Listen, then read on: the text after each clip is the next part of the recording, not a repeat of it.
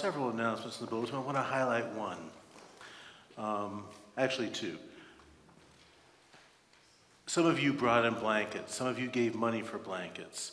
Our blanket drive was a phenomenal success. We delivered, is Connie here? I want to say 80 blankets. Is that right? Eight zero? 81 or 82 blankets we were able to get out in the community. And that's because of you. Thank you so much. That will make a difference in people's lives this winter. So I like to celebrate our, our missions and our giving things we do because sometimes we forget that our little deeds of kindness can make a difference.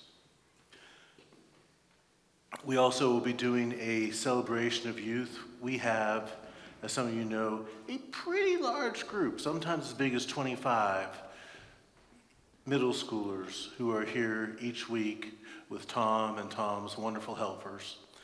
And this year we are putting their sizes and information on a tree so that people who want to can take that ornament and buy a gift for that child.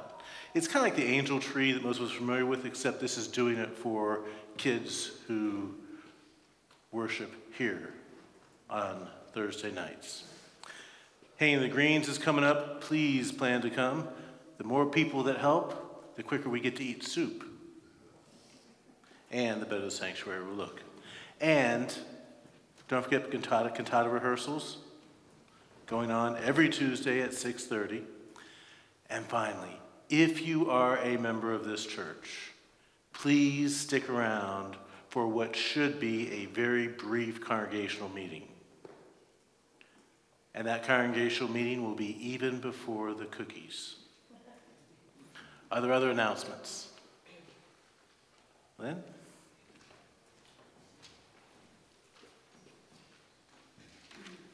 Morning. Please join me in the gathering prayer. Eternal God, you appointed Jesus Christ to rule over all things and made us servants in your kingdom. Grant us grace to perceive more of your perpetual, loving presence and empower us to share your love and to minister to all in need. At the right time, bring us to your eternal realm worship and adore you and participate in your everlasting joy. These things we ask in the name of Jesus, who is the way and the truth and the life. Amen.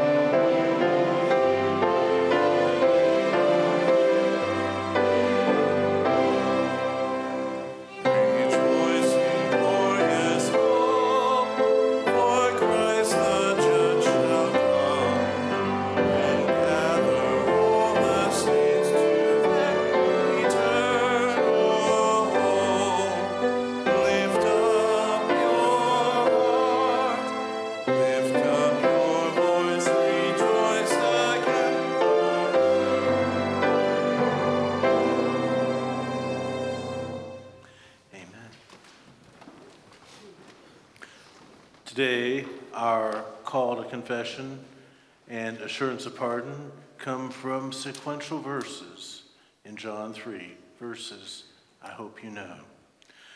God so loved the world that he gave his one and only Son, so that whoever believes in him shall not perish, but have eternal life.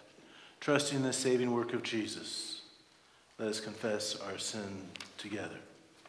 Sovereign God, according to your word, you are the giver of every good gift, and even the skills and strength by which we earn our livings come from you. In addition to all the, ble- the blessings of this present life, you have promised us an eternity that is wonderful beyond our comprehension.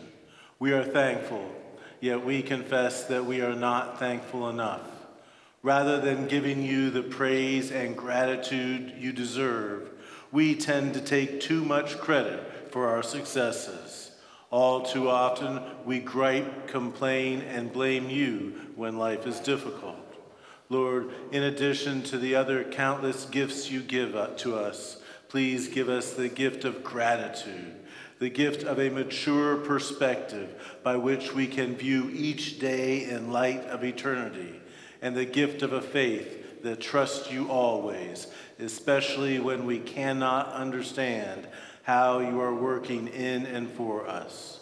Lord, on this Christ the King Sunday, we confess that we sometimes think and act as if we could rule our lives better than you can. Please forgive this foolishness and all our other sins. Lord Jesus, until the blessed day when all your foes are forever vanquished and you rule over a kingdom that is better than anything we can imagine. Rule now in our hearts and homes, and let our daily living be a foreshadowing of your coming kingdom. These things we ask in the name of Jesus, the King of Kings. Amen. God did not send his Son into the world to condemn the world, but in order that the world might be saved through him. In Jesus, we are forgiven. Thanks be to God.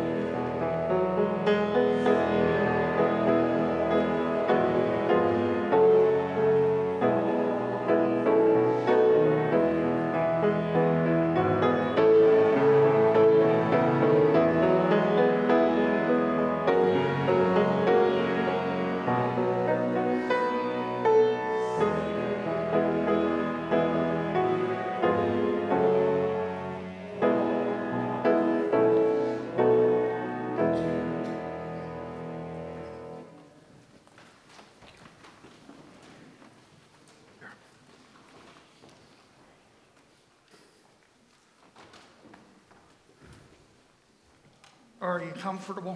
Yes, I am comfortable. That, that's good. That's what I wanted to find out. Now, Jay, um, you know what a nickname is, don't you? Yes. And yours is Jay Bird, right?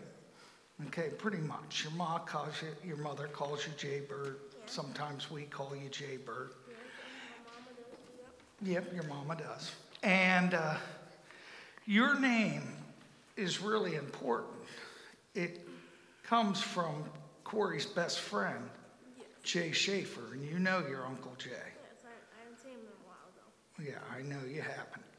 And then his name came from very good friends, and that was Jay Gatsby. And I'm not talking about the book, I'm talking about Jay Gatsby, who was the son of very important folks in our, in our church.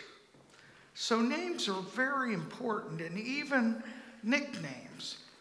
And today, John. And that nickname was first uh, expressing that he was uh, the thunder, the son of thunder. He had kind of a stormy personality, okay? And sometimes we have stormy personalities. Now, don't tell me my grandpa has a stormy personality all the time, just once in a while. But our friend John in the Bible, he was an apostle, an apostle of love.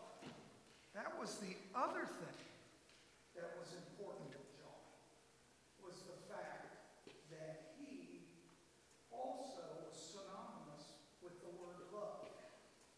And in fact, John asked three times, um, he asked, uh, well, Jesus asked, or John asked, how many times? He asked three times expressing his love because Peter denied Jesus three times.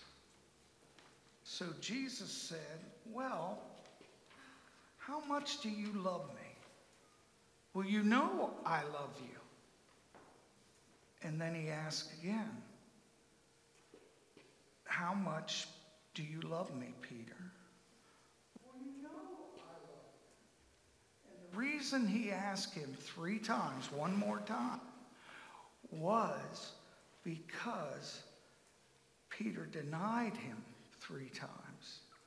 And so when he came back and was talking them at his famous breakfast on the beach, he asked him, How much do you love me? And it's important to know that love is so important in our faith.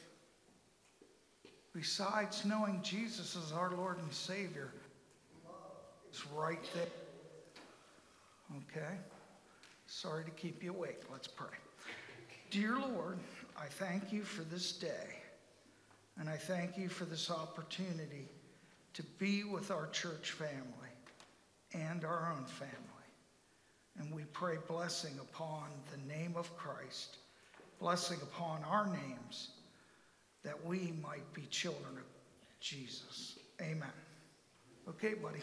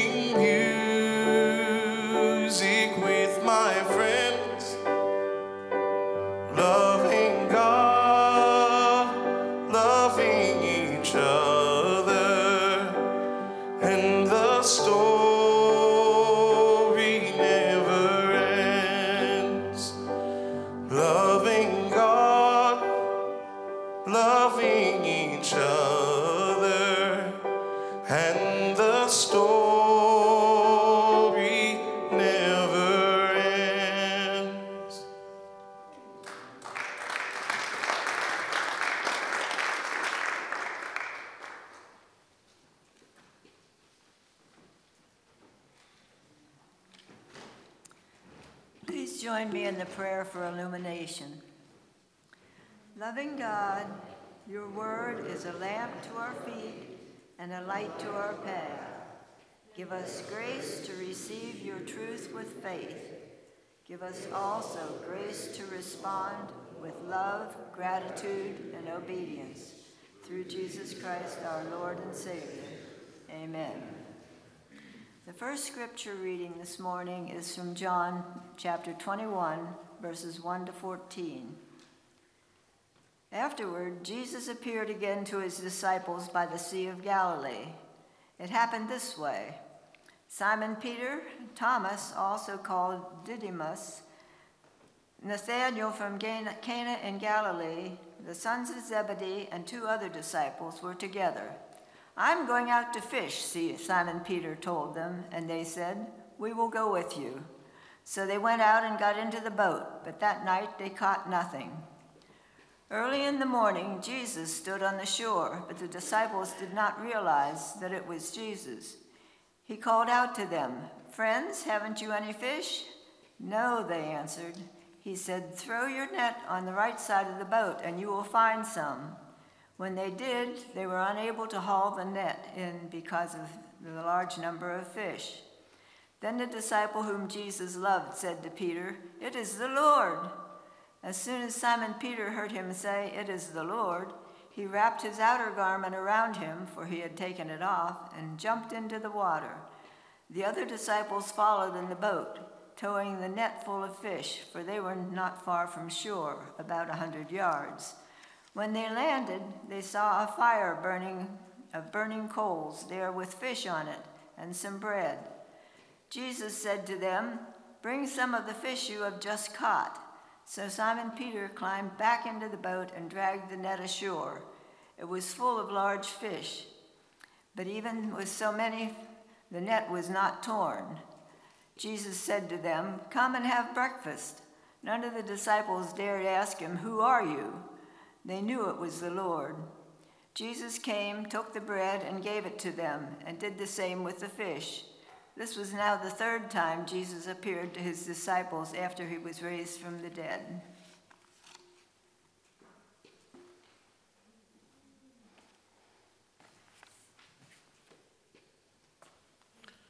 Picking up where Lynn left off in 2115. When they had finished eating, Jesus said to Simon Peter, Simon, son of John, do you love me more than these? Yes, Lord, Peter said, You know that I love you. Jesus said, Feed my lambs. Again, Jesus said, Simon, son of John, do you love me? Peter answered, Yes, Lord, you know that I love you. Jesus said, Take care of my sheep. The third time, Jesus said to Peter, Simon, son of John, do you love me? Peter was hurt because Jesus asked him the third time, Do you love me? He said, Lord, you know all things. You know that I love you. Jesus said, Feed my sheep. Very truly, I tell you, when you were younger, you dressed yourself and went where you wanted. But when you are old, you will stretch out your hands, and someone else will dress you and lead you where you do not want to go. Jesus said this to indicate the kind of death by which Peter would glorify God. Then Jesus said to Peter, Follow me. Peter turned and saw the disciple whom Jesus loved was following them. This was the one who had leaned back against Jesus at the supper and said, Lord, who is going to betray you? When Peter saw John, he asked, Lord, what about him? Jesus answered, If I want him to remain alive until I return, what is that to you? You must follow me. Because of this, the rumor spread among the believers that this disciple would not die. But Jesus did not say he would not die. He only said, If I want him to remain alive until I return, what is that to you? This is the disciple who testifies to these things and who wrote them down. We know that his testimony is true. Jesus did many other things as well. If every one of them were written down, I suppose that even the whole world would not have room for the books that would be written. God's word for us, God's children.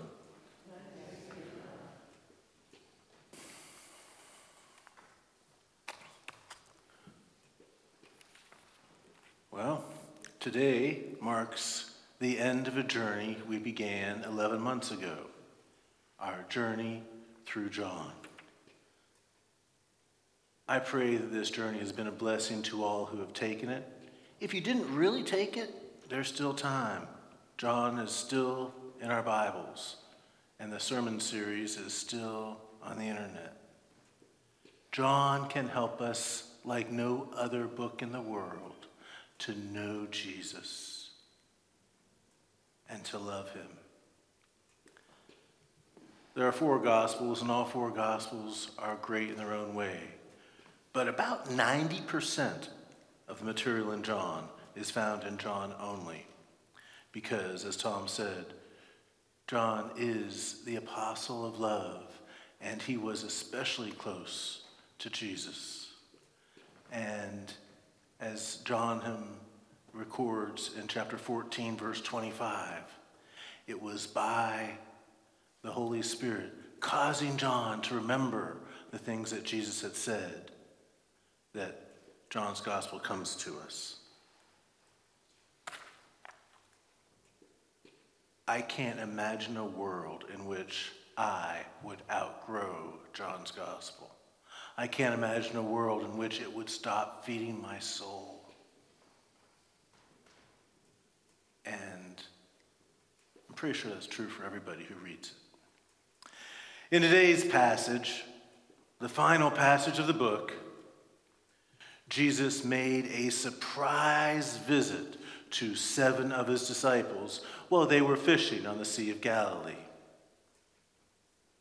You might wonder, why were those seven disciples fishing for fish instead of fishing for people?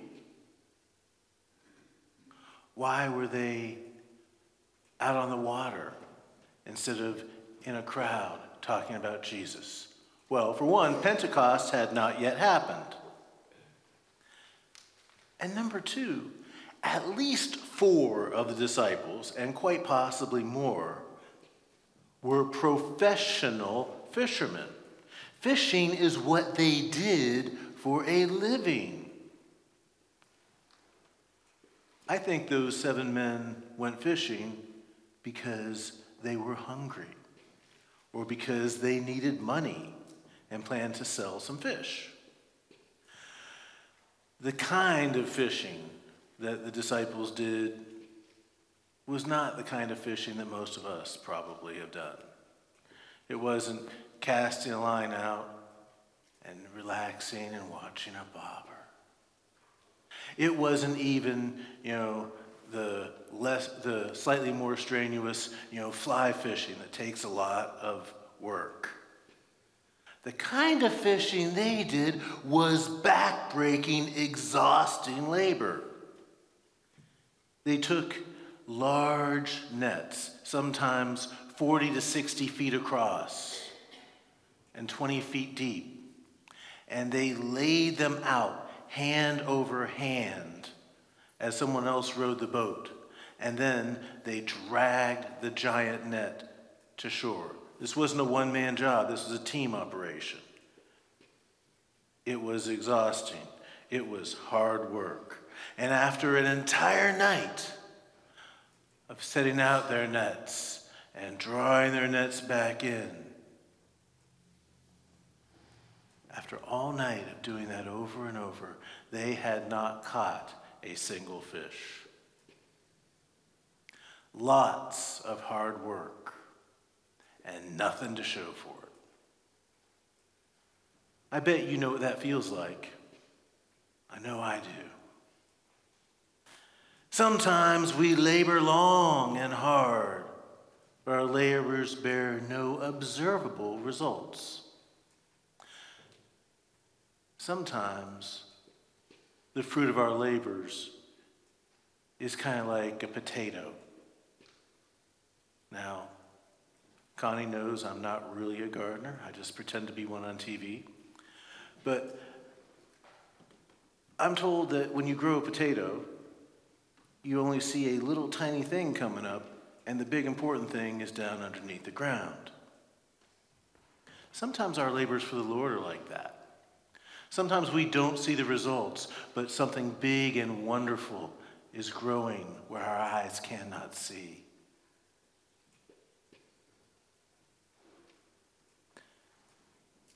Sometimes we labor long and hard, and the lack of perceived results can be discouraging. But here is the good news. When Jesus decided it was time, the disciples pulled in a massive catch of 153 fish. Now, there's been all kinds of speculation for the last couple thousand years about why 153 fish. Augustine wrote, you know, many, many, many, many pages on why 153 fish. And some of his theories are interesting. Some other theories about 153 fish are pretty far fetched. Do you know why I think John tells us that there were 153 fish? It's profound. It's because that's how many there were.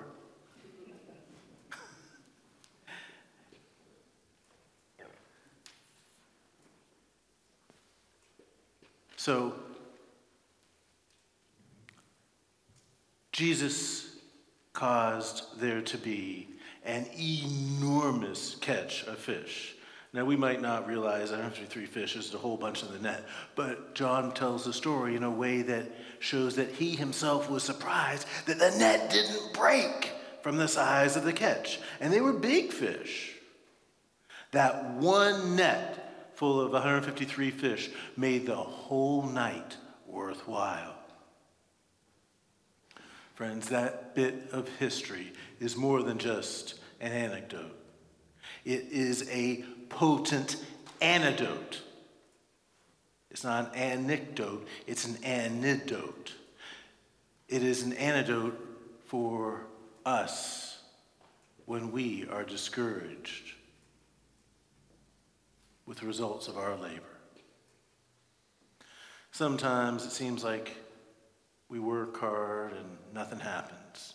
In such times, we can find comfort from remembering that God works in mysterious ways. God works behind the scenes. And God works on God's own time schedule, which is almost always different from ours. When we're working hard and we're not seeing the results, we can remember that an unexpected blessing might be just a few moments away. Verse 5 might seem a little bit strange. The NIV smooths it out and makes it less strange. But if you read the NIV or numerous other translations, Jesus actually says, not friends, you have not any fish, do you? He says, children. Paidia, it means children. And most translations translate it that way. Children, you have no fish, do you? Now, it might seem strange to refer to a group of grown men as children. I know some of your wives are thinking, no, it's not that strange at all. But it is a little strange to speak to a group of grown men as children. But actually, it fits. And we need to understand why. Think back to Matthew chapter 18. Jesus says words we should all remember and strive to live. He says, Truly I tell you, unless you change and become like a little child, you will never enter the kingdom of heaven.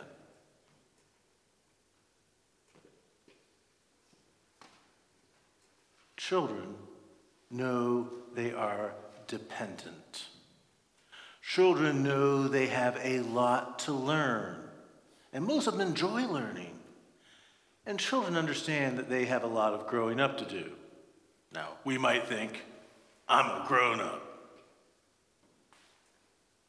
I'm independent. I'm self sufficient. Well, God says we're not. If you ever meet somebody who says, I'm a self made man or I'm a self made woman, chances are they look like a do it yourself project. We might think we've got it all figured out, but God says that we have a lot to learn. And when we're born again, born of the Spirit, we're born as babies with a lot of growing up to do. Another odd thing about verse 5 is this Jesus asks a question. He says, Children, you have no fish, do you? Why is that weird?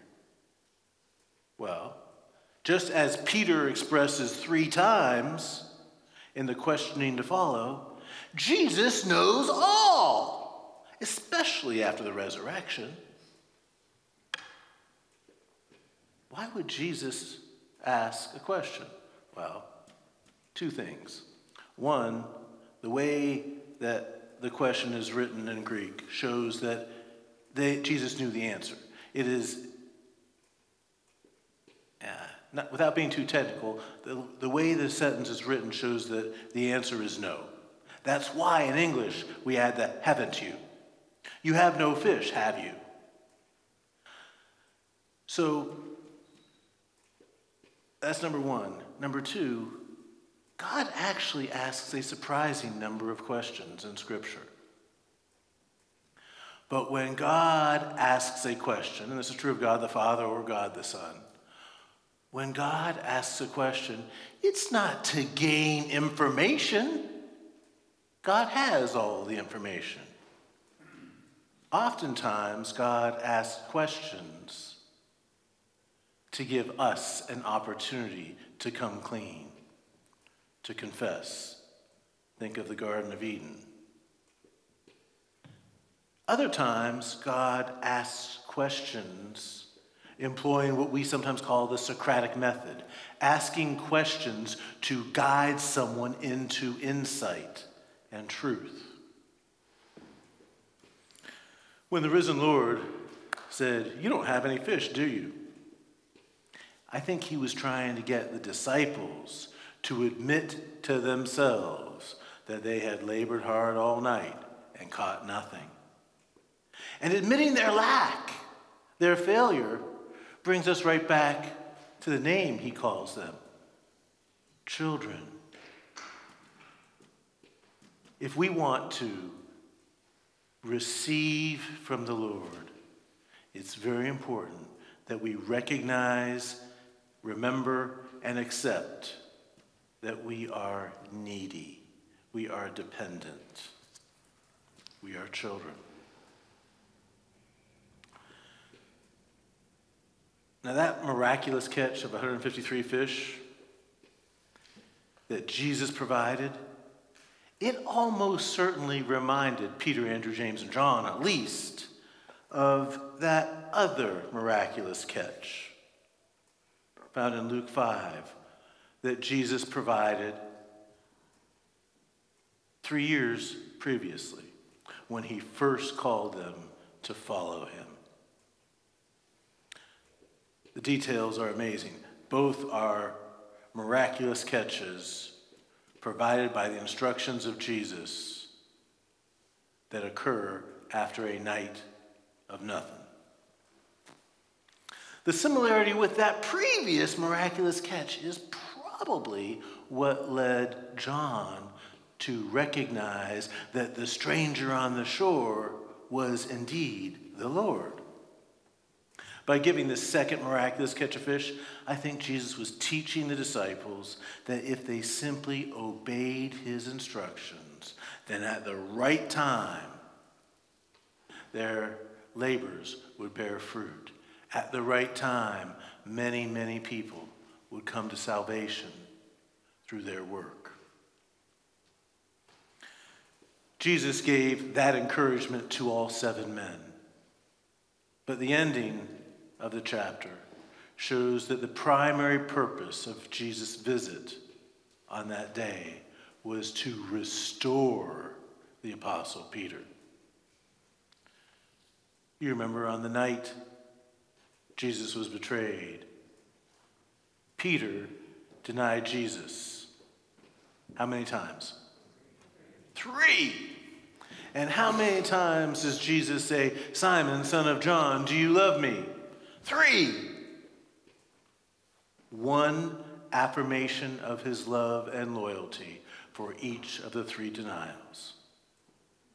It is a perfectly symmetrical restoration of a fallen man back to his position of leadership.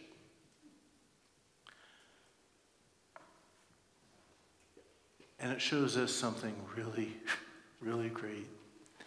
Jesus holds no grudges. I've failed him, and so have you, by the way. He holds no grudges. He forgives us. And, my friends, whenever we fail him, he calls us saying, Follow me. Continue following me. Keep on following me. And as we follow him, he works through us to touch the lives of other people. This dialogue between Jesus and Peter teaches us another really important lesson. Jesus was restoring Peter to a position of leadership. And it's really important for us to notice that Jesus did not ask Peter about his leadership skills. Jesus did not ask Peter about his preaching abilities. He did not ask Peter about Peter's theology. He simply said, Simon, son of John, do you love me? When it comes to serving Jesus, loving him is the most important qualification.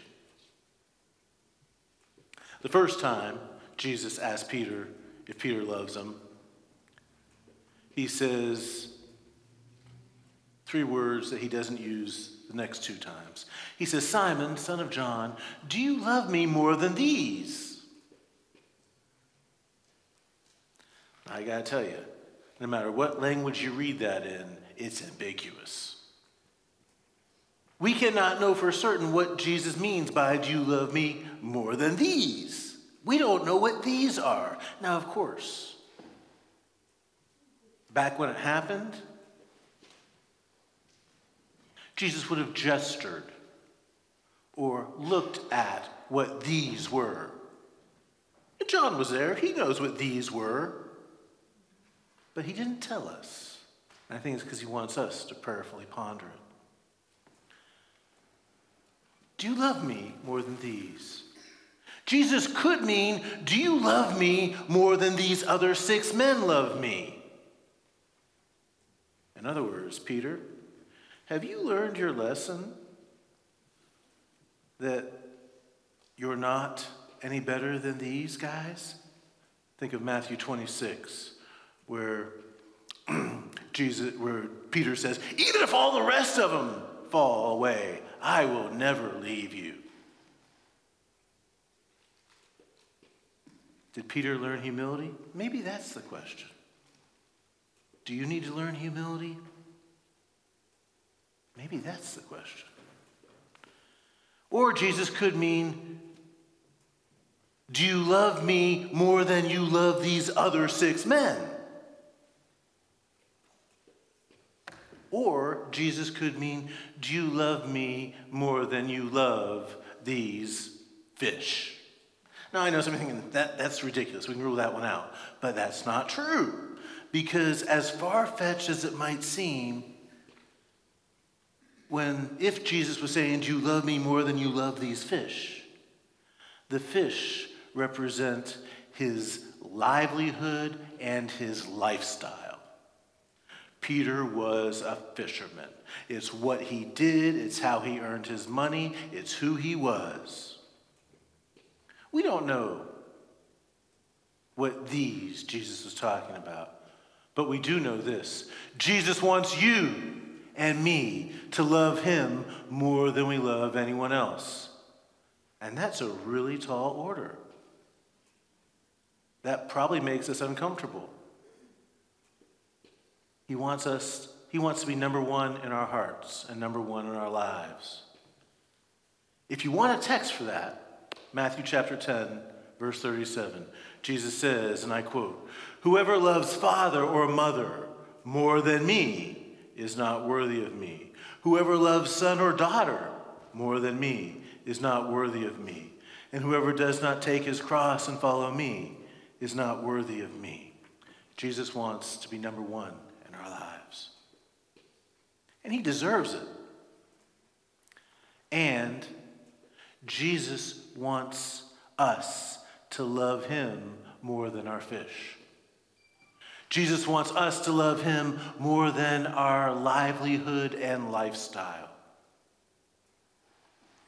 Well, what should we do if our love for Jesus is less than it should be? What should we do if our love for Jesus is less than it should be? Well, a good first step is to talk with him honestly about it.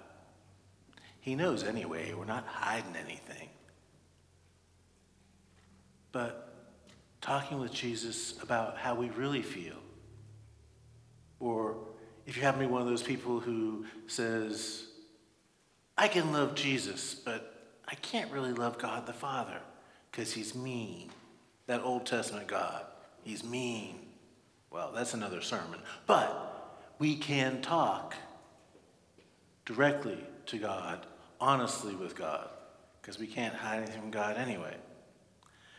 And we can ask God, Father, Son, and Holy Spirit, to help us love God more.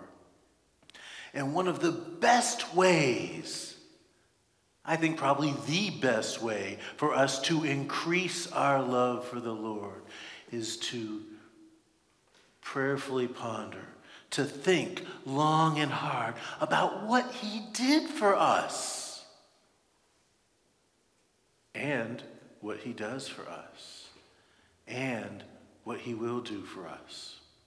John, later in life, in his first letter, says, We love because He first loved us. When we meditate on God's love for us, it increases our love for God. Our love for Jesus also increases when we spend time with Him time with Him in His written word, time with Him in prayer, time with Him in worship, time with Him in silence and solitude. I want to close with two quick points, despite the fact this passage has more to teach us. This one is especially important, I think. This isn't a deep point of discipleship like the one, like several of the ones I've made. This is just practical stuff that we need to be reminded of. After Jesus tells Peter that Peter will be crucified, the having your arms stretched out was an ancient euphemism for crucifixion. After Jesus tells Peter that he will be crucified, Peter says, Lord, what about him?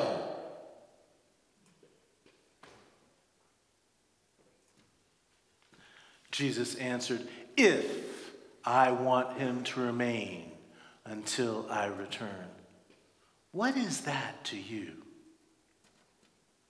Peter had just been told that he was going to be crucified. And he wanted to know what's going to happen to John? But instead of indulging Peter's curiosity, Jesus gave Peter a rebuke and a charge. He said, If I want him to remain until I return, what is that to you? You must follow me.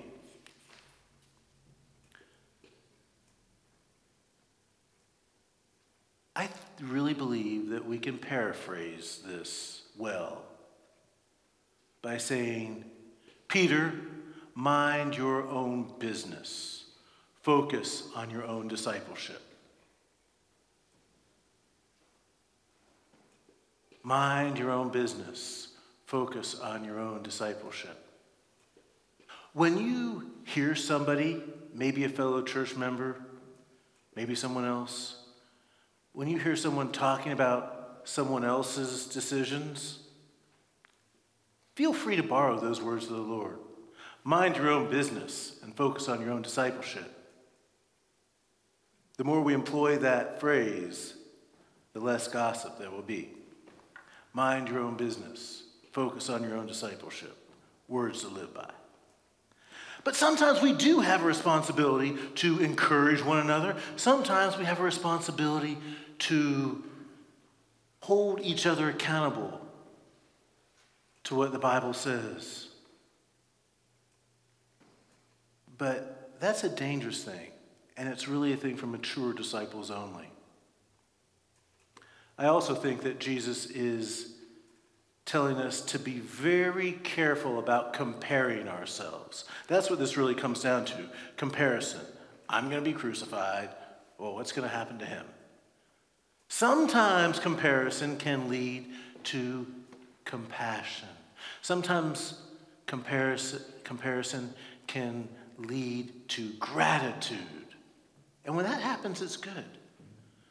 But comparison, comparing ourselves with others, often leads to envy and bitterness or to sinful pride.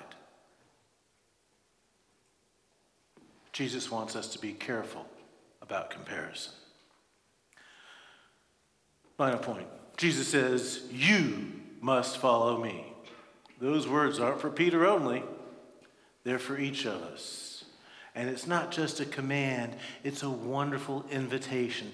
It's an invitation into a lifestyle of exciting growth, an invitation into a lifestyle where, as branches on the vine, we imbibe His life into us and we just get better and better. Jesus says, You must follow me. Following Jesus includes obeying Him. It includes emulating him, doing our prayerful best to follow his example, and it includes being his apprentice, learning life from Jesus. Perhaps above all, it, following Jesus means spending time with him.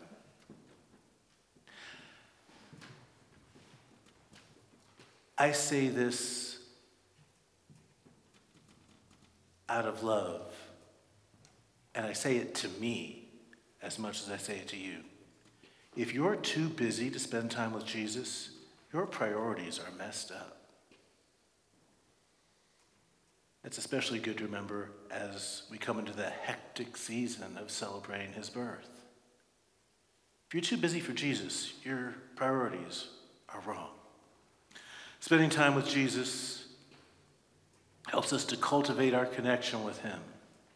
And there's no substitute for reading, or if you don't like to read, listening to the Bible. There's this great thing now, it's called an audiobook. Some of you have heard of them. People, it's a great answer for people say, I don't like to read, or I don't like to read my Bible. Fine. Buy it for 99 cents and put it on your, on your phone and listen to it and there's also no substitute for prayer. But please understand, spending time with Jesus, spending time in God's Word, and spending time in prayer, it's not something that we add to our to do list. It's a way that we build our relationship with God, a way that we increase our love for God, and it becomes a circle the more we spend time with God and God's Word and in prayer, the more we love God. And eventually, spending time in Scripture and in prayer is nothing like a chore, it's a joy. Please pray with me. Great and gracious, holy God, thank you for loving us. Help us to love you. Help us to love one another. We ask these things in Jesus' name, praying as he taught us. Our Father, who art in heaven, hallowed be thy name. Thy kingdom come, thy will be done, on earth as it is in heaven. Give us this day our daily bread, and forgive us our debts as we forgive our debtors. And lead us not into temptation, but deliver us from evil. For thine is the kingdom and the power and the glory forever. Amen. All right. We have no give you an announcement, it looks like. But you know what? We all know what it's about anyway. We give out of gratitude. We give because we have received. We give to help others. And as Jesus says, in the one saying of Jesus that's not in the Gospels or Revelation, but recorded in Scripture, it's in the book of Acts. Jesus says, it's more blessed to give than to receive.